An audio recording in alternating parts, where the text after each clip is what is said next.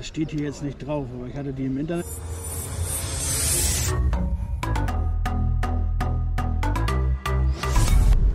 So Leute, Heimspiel heute. Ähm, das war jetzt eine super, super spontane Entscheidung, wie eigentlich die anderen drei Flohmärkte auch. Ähm, anderen zwei. Heute ist die dritte Folge. Ähm, aber ich war gerade Pippi machen und habe dann gedacht, Mensch, heute im Ort, Heimspiel kannst du dir eigentlich nicht entgehen lassen. Habe aus dem Fenster geguckt, war fantastischer Sonnenschein. Ich hatte auch erst viereinhalb Stunden gepennt, weil der Laden gestern noch lange auf war. Danach haben wir noch einen Podcast aufgenommen. Danach habe ich den noch geschnitten und ja, wie gesagt, viereinhalb Stunden Schlaf. Aber einfach fantastische Sonne. Und ey, es sieht hier einfach jetzt schon hupevoll aus. Und das ist halt hier bei mir im Ort, wo ich äh, wohne, in Badowik, ein Flohmarkt. Und den werden wir heute mal abchecken. Das sieht aber so aus. Also hier, ich weiß nicht, ob wirklich so viele Stände da sind, wie Autos da sind. Das wahrscheinlich nicht. Aber es ist, ey Leute, es ist 7 Uhr morgens. Und hier ist schon richtig was los. Also da bin ich mal gespannt. Hier sind noch die Reste vom Osterfeuer. Ja, wir schauen uns das mal an. Stände sieht nicht so viel aus. Es ist auch noch, muss man dazu sagen, ähm, 6 Grad. Eben waren es noch 5, 6 Grad. Sonnenschein ja, aber es ist natürlich irrsinnig kalt und auch noch klamm. Ne? Aber wir gucken mal, was wird. Let's go. So, da die Reste vom Badewicker Osterfeuer. Ja, und so sieht der Parkplatz aus. Das ist übrigens nur eine Wiese. Da hinten ist noch eine zweite Wiese, das ist eine Straße. Dahinter kommt noch mal eine Wiese. Also auf jeden Fall wahnsinnig viele Autos schon für die frühe Uhrzeit. Das kann man nicht anders sagen. Naja, wir schauen uns mal an, was hier so gibt. Ne?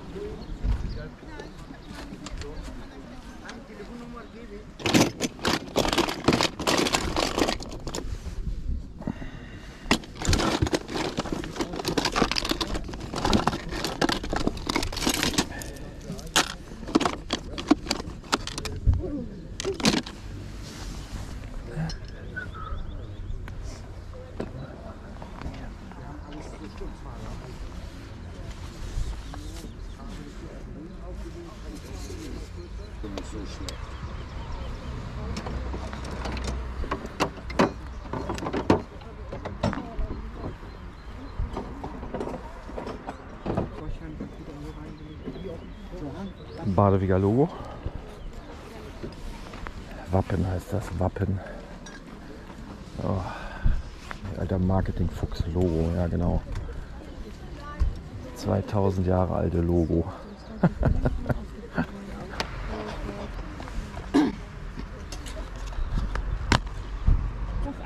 eingelaufen und passen nicht mehr. Und jetzt habe ich sie eine Nummer größer gekauft. So, war- und Was nehmen Sie für die DVD? Euro. Würde ich direkt die vier hier mal mitnehmen.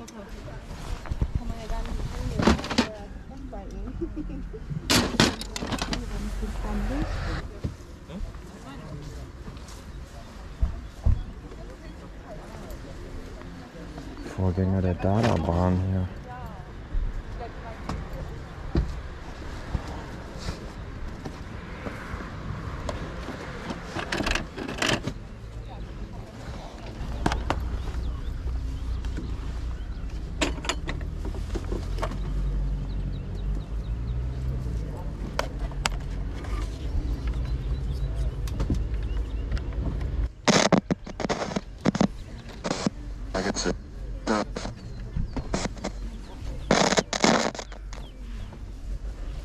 Ähm, Entschuldigung, was soll das kosten?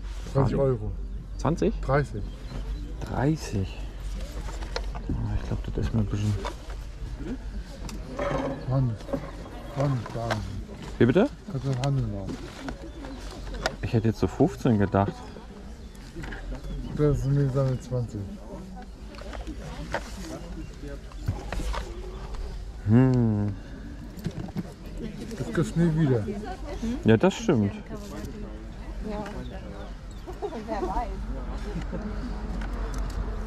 Komm, machen wir ein 20, ist in Ordnung. Sehr, vielen Dank.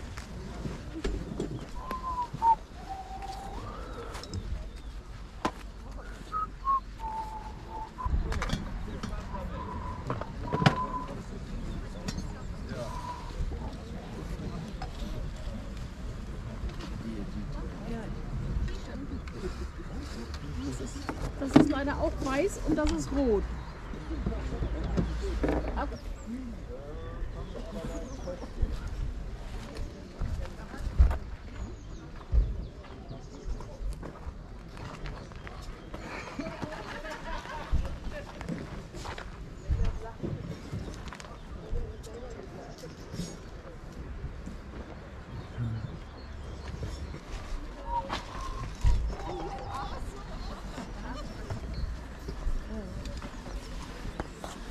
Das Neinhorn. Was soll das Neinhorn kosten?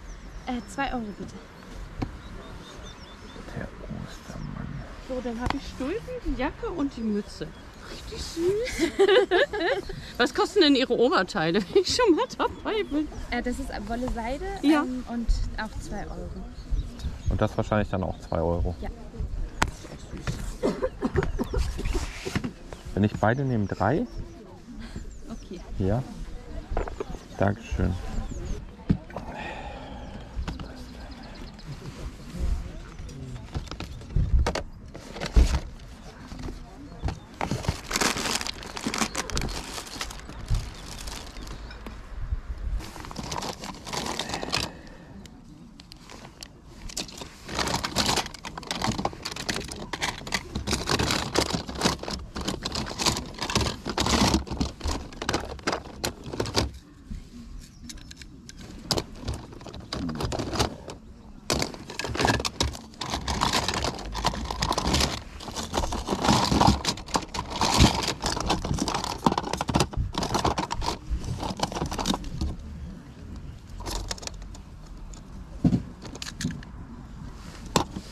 Das ist alles von McDonalds. Ja, ich sehe gerade. Was wollen Sie denn dafür haben? Und die ganze Kiste können Sie auch kaufen. Was, was, 6 Euro, die ganze Kiste? ganze Kiste. Fünf. Ja. Ja? machen wir, Dann machen wir das. Dann habe ich nämlich direkt was, Ja. ja. wo ich das tragen kann. das ist ganz toll eigentlich. Aber nochmal, nochmal. Was hat denn Dingsbums, ne? Hier. Guter Mann. Joris Matheisen. Nur der HSV. Kurzes Zwischenfazit. Da muss man mal gucken, was das Ding wert ist. Habe ich aber für mich geholt tatsächlich im Büro. Ich denke schon seit Ewigkeiten. So ein altes, klassisches Radio. Gute Marke, Schaub Lorenz. Definitiv für ein 20. Dann für einen Euro ein paar Klassiker DVDs. Entweder zum selber schauen oder zum Leute anlocken. Ebenso dieses hier, das sind zwei moderne Klassiker, die eigentlich auch gesucht werden. Fantastische Geschichten habe ich schon fürs Kind zu Hause. Aber um Leute, wenn man selber auf den Flohmarkt geht, an den Stand zu locken, ähm, 1,50 pro Buch, wahnsinnig guter Preis. Ebenso wahnsinnig guter Preis. Das hier, das muss ich dann im Einzelnen mal checken.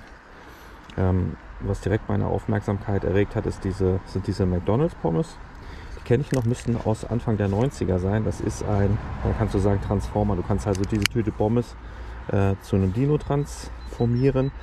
Und ich bin mir ziemlich sicher, dass allein dieses Teil, nämlich auch sehr guten Zustand, diese ganze Kiste bezahlt. Mindestens. Und äh, da ist noch einiges mehr drin. Vielleicht noch ein paar coole Sachen, muss ich mir mal in Ruhe angucken. Aber das war ganz geil.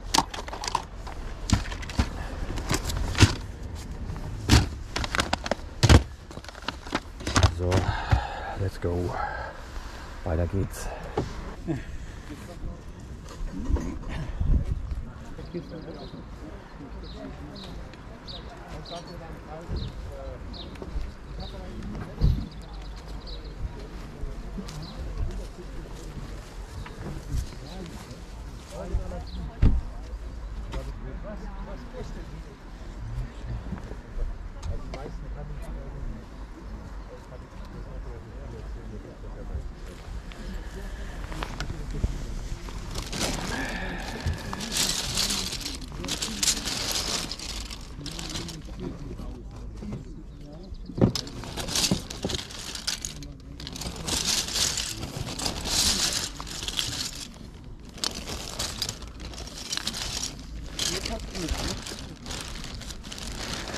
nehmen Sie hier für diese Tüte? Ähm, äh, wie war das? Tüte 10 Euro. Okay.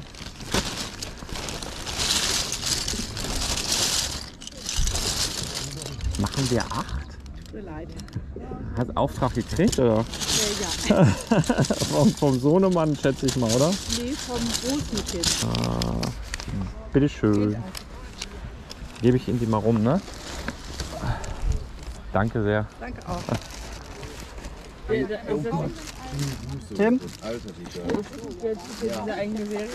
Tim? Tim, pack mal bitte, in, liegt, tu mal bitte in meinen Wagen. Sieht so aus, als hättet ihr die zusammengesucht, dass das vollständig ist wahrscheinlich, ne?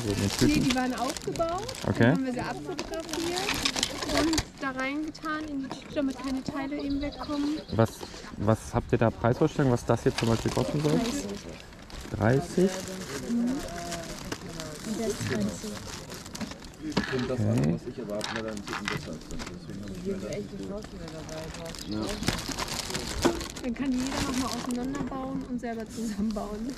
Ja, ja, das ist schon, schon nicht schlecht. Danke. Problem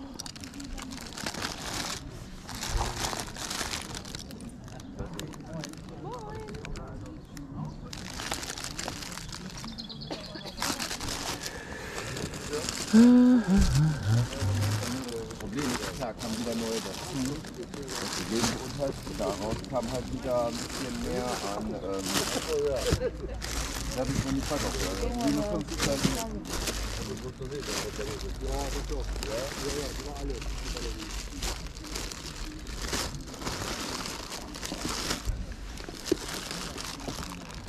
Und was soll das kosten hier? Wir nehmen 40?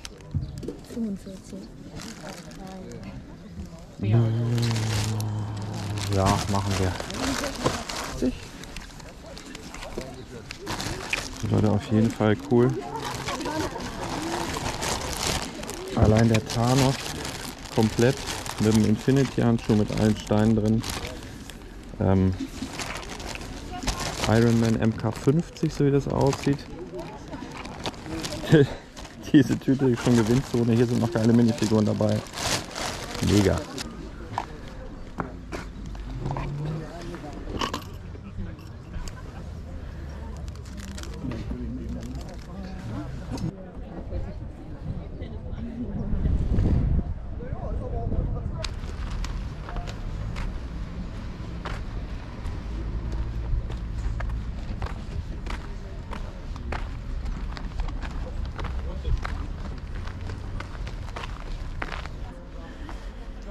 Die kennen wir schon, die Kanone.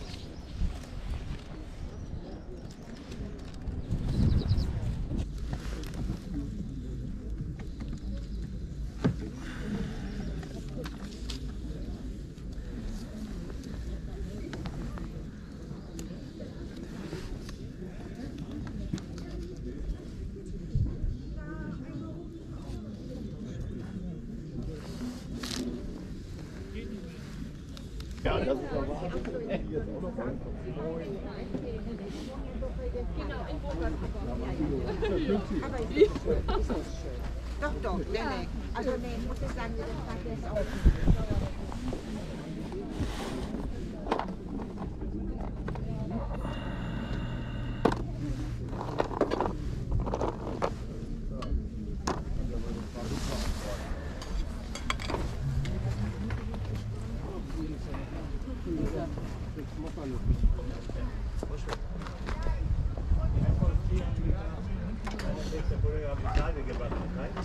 Hatte bei mir gegeben für 3 Euro.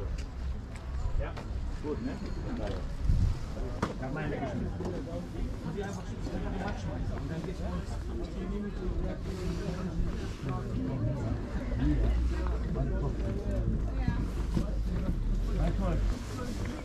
Das ist ja schön, das Fahrrad. Ja, Können Sie mir dazu, also aus Interesse ein bisschen was erzählen? Das sind Vollgummireifen noch, oder? Das ist Vogel. Von 1920 ist das. Aus den 20ern. Das habe ich. Also sowas sieht man ja. Frankreich. Was, was kostet sowas? Billiger mit 275. Okay. Und ist das so ein, so ein, so ein Deko-Stück jetzt erfahrungsgemäß bei den, bei den Leuten oder wird das noch benutzt? Das ist ein Oldtimer. ja, ja, Der eine stellt sich hin, der andere sagt, für im Garten stellen ist, ist es zu schade, dann verrostet das. das würde ich jetzt auch sagen. Ja, ja. Und der dritte, der überholt das wieder ganz und macht da ein neues Fahrrad von. Mit Originalfarben, alles drauf. Aber diese Kette gab es das Die schon? Kette oder? ist nicht original. Wollte ich gerade sagen, die sieht nämlich recht neu aus. Die fehlte da. Mhm. Da habe ich vom Fahrradhändler eine gebrauchte Kette gekauft, weil eine neue Kette sieht auch scheiße aus. Aber wahrscheinlich musst du auch erstmal finden aus der Epoche, ne? Ja, ja.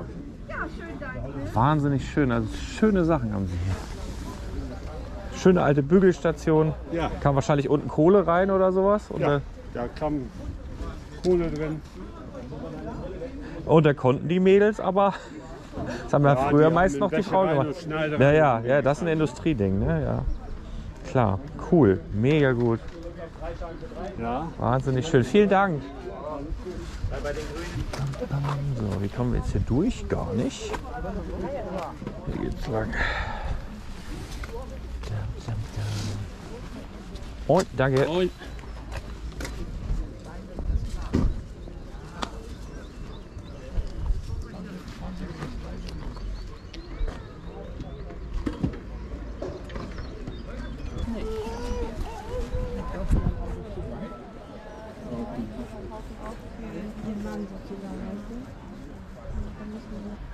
Ich habe ja irgendwo für einen Zehner so einen, so einen Sack Lego gekauft, so eine Lego-Tüte.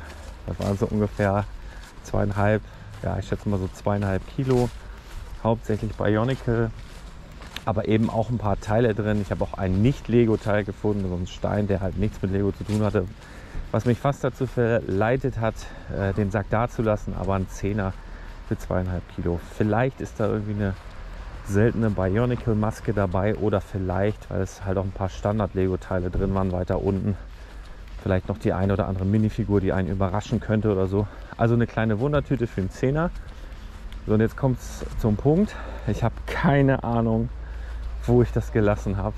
Ich habe ja ich hab die Tüte ja bezahlt und, und dann noch da gelassen. Ey, und ich habe einfach vergessen, wo das war. Das heißt, ich gehe zum Auto, und dann gucke ich mir das hier nochmal an und dann, dann hoffe ich, dass ich äh, zurück ähm, kann, wo ich das Ganze dann gelassen habe. Auf jeden Fall äh, witzige Geschichte schon wieder. Menschenskinder. Ich habe noch keinen Kaffee gehabt. so, Leute, kurzer Nachtrag. Es gab ein Happy End anhand oder mithilfe der Videoaufzeichnung habe ich es gefunden. Ich muss auch noch mal revidieren. Das sind eher so drei bis vier Kilo. Es ist wirklich schwer. Ihr seht es auch hier oben. Die Tüte hält das kaum. Also ist echt eine Menge drin. Der Grund, warum ich es gekauft habe, ist klar, es kann immer sein, hier sind auch Sachen drin, die nicht Lego sind. Hier so ein Lustnippel hier von irgendeinem Sexspielzeug, was weiß ich. Und Haare und so alles. Ne? Aber das ist eine reine Wundertüte. Hier können natürlich Masken drin sein, die potenziell sehr, sehr viel wert sind. Und ich habe auch gesehen, unten sind ähm, ja, eben auch noch so Standard-Lego-Teile. Vielleicht noch die eine oder andere Minifigur. Mache ich mal in Ruhe, schaue ich mir mal an. Auf jeden Fall. Im Endeffekt sind es auch noch ein paar Kilo Lego, die man ja auch immer noch unter ein Konvolut mischen kann für einen Zehner. Also wahnsinnig gut. Der Rest auch sehr gut, bin recht zufrieden. Man merkt, es wird wärmer, es wird immer besser. Und dass man das Ding hier vor der Haustür hat, ist natürlich auch geil. Also Badewig lohnt sich auf jeden Fall. Geiler Flohmarkt. Ähm, muss man anscheinend ein bisschen früher aufstehen, um da gute Sachen zu bekommen. Sieben war für mich jetzt schon hardcore nach viereinhalb Stunden Schlaf, aber Fazit, hat Spaß gemacht. Äh, gerne wieder. Macht's gut.